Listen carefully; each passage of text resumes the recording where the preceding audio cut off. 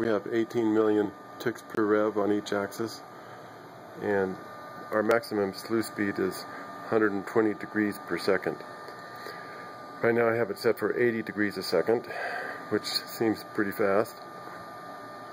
There's right ascension, there's declination.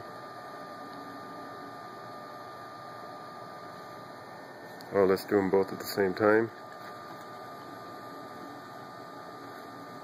And you can see that it's now tracking. Nice low position errors. They're both tracking at about the sidereal rate.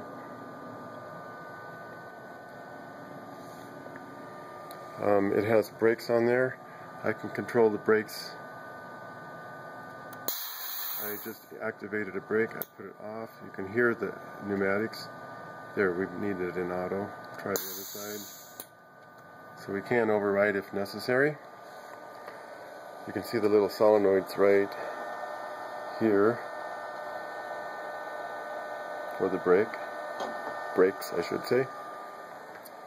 And uh, that's where we are right now. I'll be back in a couple weeks and Mike will have this all rearranged and we're going to be ready to uh, test under the stars. So we're pretty excited about that.